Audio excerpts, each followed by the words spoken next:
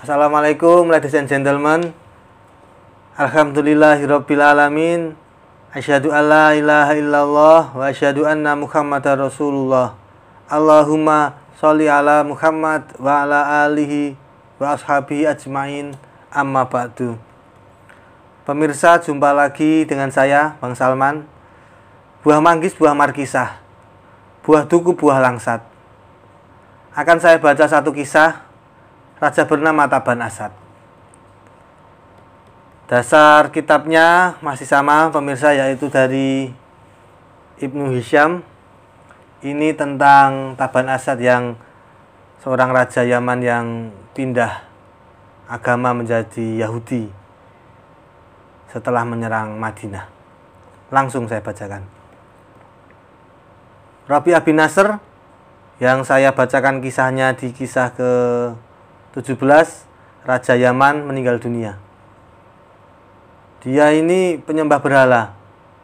Penggantinya adalah Taban Asad Abu Karib. Taban Asad Abu Karib ini adalah keturunan ke-28 dari Kohtan yang sudah saya bacakan pula kisahnya di kisah ke-10 nenek moyang bangsa Arab. Taban Asad diberi gelar Tubak karena dia adalah orang yang tinggi besar kuat. Anaknya banyak wajahnya tampan, hartanya melimpah, dan banyak keunggulan duniawi lainnya berkumpul pada dirinya. Taban Asad adalah penyembah berhala dan api. Ketika itu di Yaman, satu hari mereka menyembah api, hari besoknya menyembah berhala.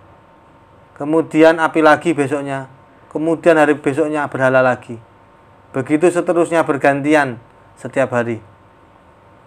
Pemirsa, fokus kerajaan Yaman saat itu adalah berdagang. Perdagangannya meliputi banyak wilayah di dunia. Salah satunya di Madinah. Dia menugaskan, Taban Asad ini menugaskan seorang anaknya mengurusi pembelian kurma di sana. Madinah ketika itu bernama Yathrib adalah penghasil kurma yang subur. Bahkan sampai saat ini. Perkebunan kurma di sana luar biasa, harganya murah, kualitasnya bagus, sehingga sangat menguntungkan untuk dijual di negara lain. Suatu hari terjadi keributan yang mengakibatkan kematian anaknya Taban Asad. Taban Asad yang dikabari kematian anaknya menjadi marah. Dia lalu menyerbu kota Madinah untuk membalas kematian anaknya. Masyarakat Madinah di bawah kepemimpinan masyarakat Madinah di bawah kepemimpinan Amr bin Tollah waktu itu raja mereka adalah Amr bin Tollah. Mereka melakukan perlawanan terhadap Taban Asad. Peperangan berlangsung di depan benteng kota Madinah. Selama berhari-hari, Taban Asad mengepung Madinah namun tidak berhasil menembus mengalahkan mereka. Ada hal yang menarik hati Taban Asad, yaitu kemuliaan hati penduduk Madinah. Pada siang hari berperang, penduduk Madinah melakukan perlawanan terhadap pasukan Taban Asad. Namun pada malam harinya, mereka mendatangi pasukan Taban Asad, membawakan makanan, mengobati pasukan Taban Asad yang terluka, dan kebaikan-kebaikan lainnya. Kemudian esok paginya mereka berperang lagi. Demikian terjadi terus-menerus dan Taban Asad pun terkesima hatinya atas kemuliaan budi pekerti rakyat Madinah ini. Pemirsa, di satu sisi yang lain saya bacakan juga agama Yahudi dengan kitab Tauratnya yang diturunkan kepada Nabi Musa alaihissalam yang hidup di tahun 1457 sebelum Masehi, Nabi Musa alaihissalam. Agama ini diturunkan untuk Bani Israel. Pemirsa setelah Haikal Sulaiman hancur diserang Nebukadnezar yaitu nama lainnya Buhtanasyar orang-orang Bani Israel ini lalu melarikan diri, menyebar ke banyak wilayah di penjuru bumi. Sekelompok orang dari Bani Israel yang memahami Alkitab ada yang menuju ke Yastrib, Madinah. Jadi di situ sudah sudah ada orang-orang Yahudi.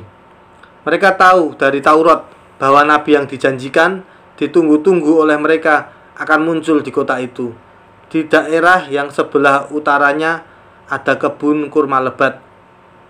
Yang di sebelah timur dan baratnya terhampar bebatuan tajam yang tidak bisa dilewati. Mereka tahu kisi-kisinya seperti itu. Jadi mereka ke Madinah menunggu lelaki yang mereka nantikan, yaitu nabi terakhir, nabi yang dijanjikan, Nabi Muhammad SAW. Walaupun memang sebelum itu sudah ada beberapa orang Yahudi yang di Madinah jauh sebelum itu, yaitu ketika Nabi Musa alaihissalam pulang berhaji dari Mekah, kemudian melewati Madinah. Kemudian Nabi Musa alaihissalam juga mengatakan bahwa di situlah nanti nabi yang terakhir akan muncul. Maka orang Yahudi yang mengikuti Nabi Musa alaihissalam ada yang tinggal di situ, tidak melanjutkan tidak melanjutkan perjalanan. Mereka tetap di Madinah. Sementara Nabi Musa alaihissalam pulang. Pemirsa, kembali ke Taban Asad lagi setelah tadi kita sekilas tentang orang Yahudi. Ketika Taban Asad menyerang Madinah di sekitar tahun 400 Masehi ini orang-orang Yahudi ini sudah ada di Madinah. Mereka sudah tahu Taban Asad tidak mungkin bisa menghancurkan Madinah. Dari mereka inilah agama Yahudi pertama kali masuk ke Arab. Orang-orang Madinah yang di orang-orang Yahudi yang di Madinah ini.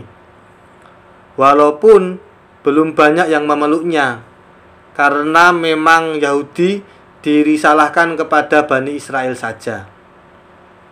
Ada dua orang rahib Yahudi, pendeta Yahudi, yang alim, keturunan dari Kohith bin Lawai bin Israel. Israel adalah nama lain Yakub alaihissalam, bin Ishak alaihissalam, bin Ibrahim alaihissalam.